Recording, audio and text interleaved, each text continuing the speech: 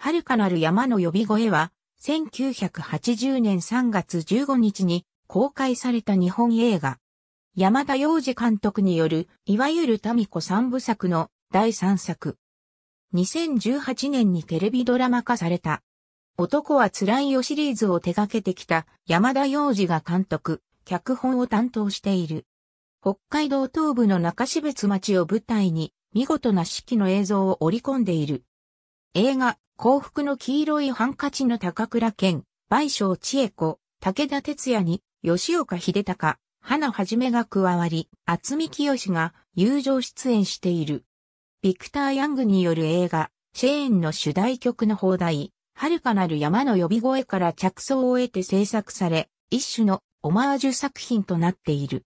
零細酪農家を取り上げた作品ということで当初、牧場所有者はロケ地提供を渋っていたが、賠償との交流を通じて承諾した。賠償は、その後、毎年の半分をこの牧場で私的に過ごすようになった。梅田松竹会館のこけら落とし上映作品でもある。北海道、中標津の酪農地帯。ある嵐の夜、一人の男が酪農を営む風見、民子のもとを突然訪れ、雨風しのぎに、どこでもいいので止めてほしいと懇願。民子は男を物置小屋に泊まらせる。深夜の牛の出産を手伝った翌朝、男は礼を言い立ち去るが、民子の息子から礼金を受け取るときに父親を亡くしたことを知る。田島が兄と再会するシーンの撮影が行われた JR、死別戦場無再起再びその男、田島が民子の元を訪れ自分を農作業員として雇う、よう懇願する。民子は一人息子の武士を育てつつ、夫の聖一が開拓した農場を女で一つで営む未亡人であった。民子は田島をしぶしぶ雇い入れたが、当初は田島に警戒感を隠さなかった。ある日、民子に好意を寄せる阿部田太郎が現れ、民子に乱暴しかける。それを目撃した田島は水をかけて追い返したが、阿部田太郎は兄弟を引き連れ仕返しにやってくる。そして草原で、阿部田三兄弟と決闘をすることに。しかし三人は簡単にやられてしまい、手打ちということで逆に、田島を兄貴と慕うようになる。民子が農場での作業中に腰を痛めて入院している間に武士は田島にすっかり懐いてしまい、その息子の姿や阿部田三兄弟に慕われる田島の実直な性格を見るうちに田島にだんだんと好意を寄せるようになる。田島も函館からはるばる訪ねてきた兄の俊一郎にしばらく民子の農場にいるつもりだと打ち明けるように落ち着きたい気持ちが湧いていた。田島は草競馬に参加して見事優勝。しかし長居することで身辺に警察の捜査が迫ってきたことを知り、田島は民子らの元を去る決意をする。その晩、別れを告げると同時に、隠し通してきた過去を民子に告白。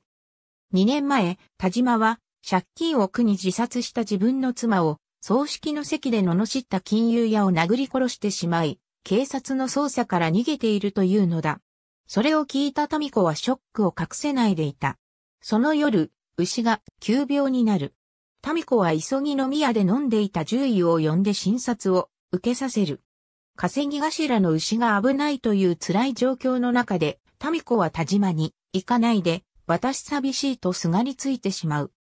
明け方までには牛の手術も終わり騒ぎも収集した。と間もなく農場のそばにパトカーがやってきて田島立ち尽くす民子と、おじちゃん、どこ行くの？と泣きながら追いかけるたけしの元から去っていく。田島に傷害致死として2年以上4年以下の刑が確定。ラストシーンで鹿賀駅に停車中の急行列車の車中に網走刑務所へ護送される田島アブタが見つける。そして、民子が田島の座る席まで来るのだが、護送員の目を気にして声をかけられないでいる。そこで、アブタは、向かい側のボックス席にミ子と座り、彼女が酪農を辞めてたけしと中標津の町で、暮らしながら、田島を待っているということをミ子との会話にして、田島に聞かせる。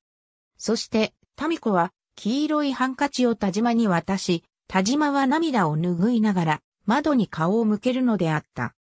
本編クレジット表記順スタッフ本編クレジット表記準 NHKBS、プレミアム、スーパープレミアムのスペシャルドラマとして2018年11月24日の21時から22時29分に放送。主演は安部博士。原作映画の設定に新たな登場人物や要素を加え、4K 映像にて制作する。主要人物その他。ありがとうございます。